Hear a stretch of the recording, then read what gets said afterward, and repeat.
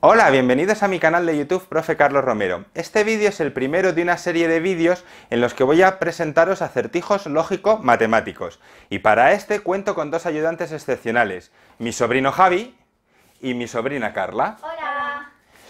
Este acertijo se llama El dilema de los gorros. Érase una vez diez prisioneras que estaban en la cárcel de una prisión y el carcelero se les acerca una noche y les dijo lo siguiente.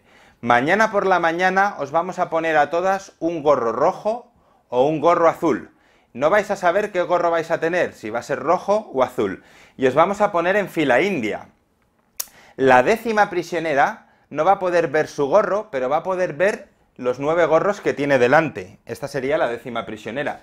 La novena prisionera no va a poder ver su gorro ni el gorro de la décima, pero va a poder ver los gorros de las ocho prisioneras que tiene delante. La octava prisionera no va a poder ver el gorro suyo ni el de las dos personas que tiene detrás, pero sí va a poder ver los siete que tiene delante. Y así sucesivamente. El carcelero le va a preguntar a la décima prisionera de qué color es su gorro. Si la prisionera lo, acierta, pues entonces se salva y la libera.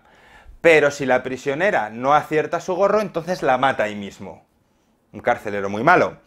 Entonces están reunidas las prisioneras la noche anterior y están intentando buscar una estrategia de tal manera que a base de decir, eh, decirse algo, decirse algún tipo de código y que se salven el mayor número de prisioneras. Por ejemplo, un código que podrían hacer es el siguiente.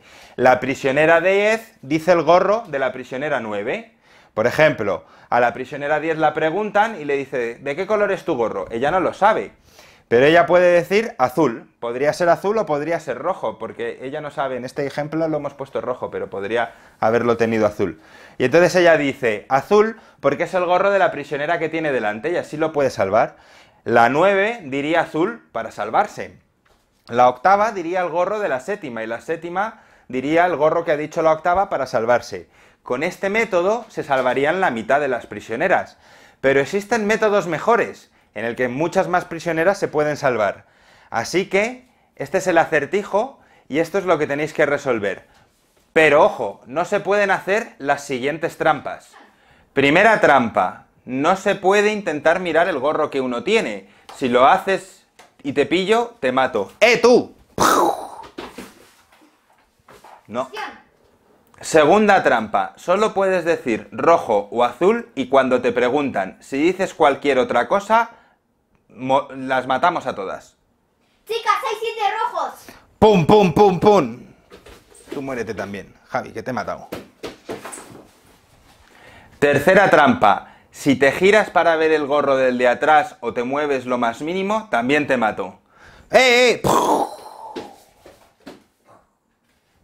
Las prisioneras disponen de toda la noche para buscar una estrategia que les permita salvarse al mayor número de ellas. De hecho, hay una estrategia muy buena que les permite salvarse a por lo menos 9 y si tienen suerte, 10. En unos días publicaré toda la solución en los comentarios.